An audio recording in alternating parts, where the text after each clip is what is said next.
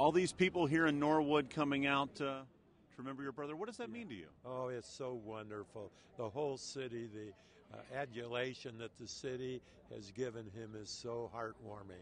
And uh, he was a great guy, though, and he deserves it. But uh, I'm so thankful to the city uh, uh, for their uh, condolences and just to praise his name. And I'm, I'm very thankful for it.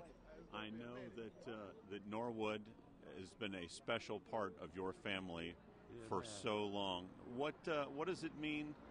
Uh, what tell me what uh, growing up in Norwood and having the family business here in Norwood has meant to you and your family. Norwood has been a, a, real friend of ours. We didn't move here until 1940. Uh, we lived on Floral Avenue, and uh, we started this company right here at this location with a, a small dairy store. We did opened uh, on May the 8th, 1940, and did $8.28 for our first day sales. And uh, uh, we were thrilled. And, uh, and ever since then, uh, Norwood has worked with us all through the years, the various administrations, and they've been a real friend to us. I know that uh, your brother is so generous throughout his entire life. Was that something that was instilled in you growing up to to give back and to share?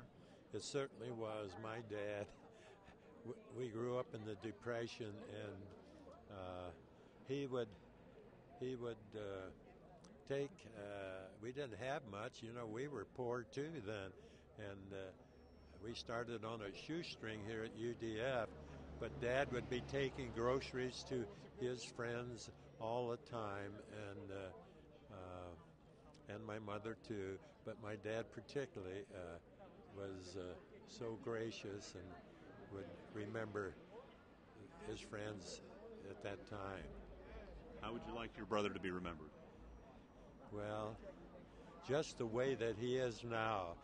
It's just uh, uh, the adulation that uh, the city has given him has been so overwhelming.